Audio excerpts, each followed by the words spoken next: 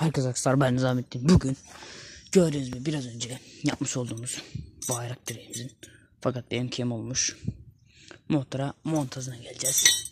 Bayrağı da orada yukarıda olması lazım. Kaynağımız artık kopuktu. Öncelikle arkadaşlar somunu çıkarıyoruz. Diğer tarafa takacaksanız veya somun da orada olur orada takarsınız. Öncelikle bunu arkadaşlar bunu buraya yerleştirin.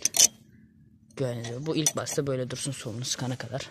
Ve somunu alın. Somunu sıkıyoruz. Evet gördüğünüz gibi. Arkadaşlar kanalda neden video gelmiyor. Okula gittiğim için motorlar köyde. Motorlar da köyde önce video çekemiyorum. İlk başta şöyle bir sıkalım.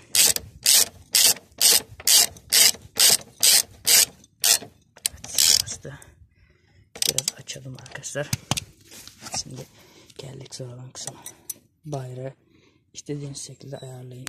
Ben böyle yapacağım. Ve sonra sıkın.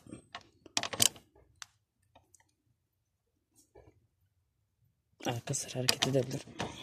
Dizimin arasında tutuyorum. Ve gördüğünüz gibi ben böyle taktım. İstediğiniz kediler İstediğiniz gibi böyle takabilirsiniz.